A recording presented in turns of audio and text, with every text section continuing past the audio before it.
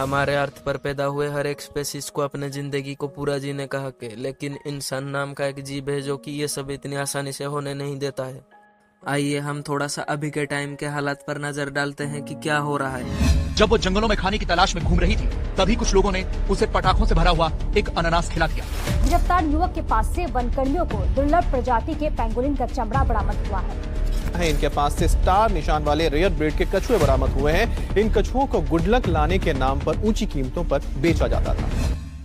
India अपने rich diversity के लिए पूरे विश्व भर में जाना जाता है। लेकिन बढ़ती पॉपुलेशन क्लाइमेट चेंज डिफोरेस्टेशन और भी कई कारण के वजह से हमारे इकोसिस्टम को भारी मात्रा में थ्रेट्स का सामना करना पड़ रहा है। और एज ए रिज़ल्ट ऐसे बहुत सारे एनिमल स्पेसिस जो कि इंडिया में रहते हैं, वो अभी भी लुप्त होने के कगार पर खड़े हैं और अपनी आबादी को बढ़ाने के लिए संघर्ष कर रहे हैं। आगे हम वीडियो में इसी के बारे में ही डिस्कशन करने वाले हैं। तो हम शुरुआत करते हैं one of the most critically endangered bird of India the great Indian bustard कुछ साल के पहले तक ये बाढ़ राजस्थान के थार डेजर्ट पर देखने को मिलते थे, लेकिन पिछले तीस सालों के अंदर इनकी आबादी का पचहत्तर प्रतिशत हिस्सा खत्म हो गया है।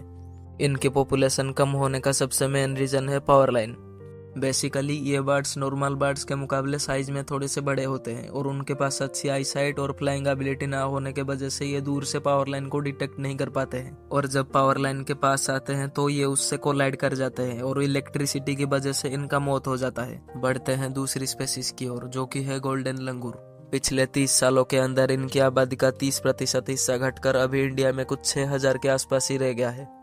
इनकी घटती हुई पॉपुलेशन का असली वजह है रोड एक्सीडेंट और इलेक्ट्रिक्यूशन बंदर का यह स्पेसिस इंडिया में सिर्फ़ मानस नेशनल पार्क में दिखाई देता है, जो कि आसाम में है।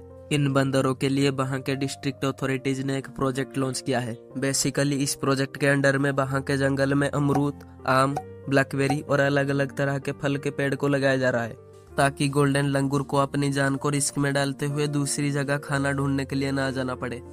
बढ़ते हैं हमारी लिस्ट के तीसरी स्पेसिस की ओर, जिसका नाम है रेड पांडा। इसे लेसर पांडा भी कहा जाता है। वर्ल्ड वाइड इसकी घटती हुई पॉपुलेशन को देखते हुए 2008 में आईयूसीएन की रेड लिस्ट में इसको एंडेंजर्ड घोषित कर दिया गया है। अगर बात करें इंडिया की तो इंडिया में ये सिक्किम वेस्ट बंगाल और अरुणाचल प्रदेश में रेड पांडा देखने को मिलते हैं। दिखने में ये बहुत ज़्यादा सुंदर होते हैं और खाने में ये बाँस और पेड़ के पत्ते खाते हैं। इनकी घटती हुई पॉपुलेशन के पीछे बहुत सारे वजह है, जैसे की illegal hunting climate change deforestation जंगल में आग लगना और भी ऐसे बहुत से वजह शामिल है। और मुझे तो सबसे ज़्यादा बुरा लगता है कि वहाँ के आसपास के लोग इसका इंटरनेशनली ट्रेड करते हैं चाइना के साथ। क्योंकि चाइना के लोग इसके पूछ से अपना हेयर तैयार करते हैं। वैसे तो अभी के डेट में रेड पांडा की हंटिंग को पूरी तरह से इलीगल घोषित कर दिया गया है, लेकिन कुछ जंगली शिकारी, जैसे कि लियोपोड और ईगल, इनका शिकार अभी भी करते हैं। आगे बढ़ते हैं भेड़ियों के चौथे स्पेसिस की ओर, जो कि है एलिफेंट। हमारे इंडिया में एशियन एलिफेंट पाए जाते हैं, जो कि साइज़ में अफ्रीकन एलिफेंट से थोड़े से छोटे होते हैं। जनरली हाथी हमारे इंडिया में कर्नाटका, आसाम, केरला, तमिलनाडु और ओडिशा से स्टेट में देखने को मिलते हैं। उन्नीस सौ छियासी में हाथी की गिरती हुई पॉपुलेशन को देखते हुए आई की रेड लिस्ट में इसको एंडेंजर्ड घोषित कर दिया गया था। अभी के डेट में इंडिया में इनकी टोटल आबादी उनतीस हज़ार है, लेकिन पिछले पाँच सालों की अगर बात करें तो लगभग 500 हाथी मारे जा चुके हैं। जो कि हमारे लिए एक अच्छा साइन बिल्कुल भी नहीं है।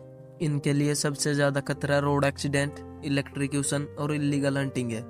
इंडिया के कुछ जगह पर यह तक भी देखा गया है कि लोग उसके खाने में ब्लास्टिंग केमिकल और पॉइजन देकर उसको मारने की कोशिश करते हैं। हमारे इंडिया में जंगल की मात्रा कम होना और भी एक बहुत बड़ा क्रिटिकल इशू है, क्योंकि जंगल कम होने की वजह से इनको खाना सफिशेंट नहीं मिल पाता है और आज रिज़ल्ट ये हमारे गाँव में घुसने की कोशिश करते हैं।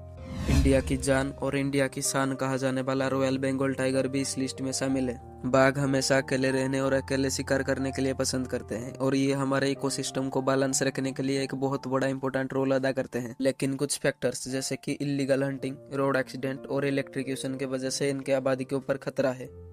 हमारे इंडिया में अभी 2026 में इनकी टोटल आबादी लगभग 3200 के आसपास है।